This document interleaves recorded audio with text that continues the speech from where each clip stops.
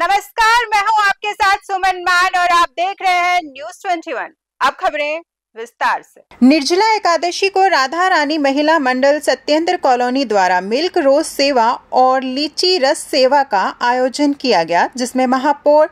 श्रीमती मुनेश गुज्जर द्वारा वितरण का शुभारंभ किया गया